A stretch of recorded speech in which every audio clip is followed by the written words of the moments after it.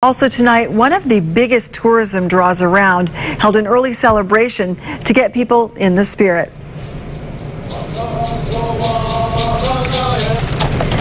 The event called La Primavera just wrapped up. It happened at the historic Rancho dos Pueblos in Goleta. The newly chosen Spirit and Junior Spirit performed officially for the first time.